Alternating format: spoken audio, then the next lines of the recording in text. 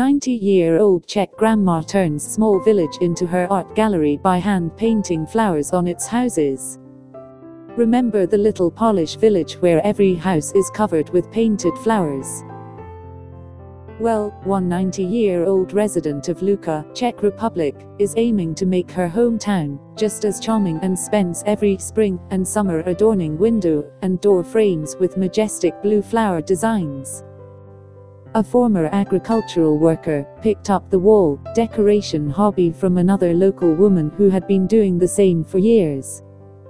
Using vibrant blue paint and a small brush, she creates intricate floral wall murals inspired by traditional Moravian southern Czech artwork.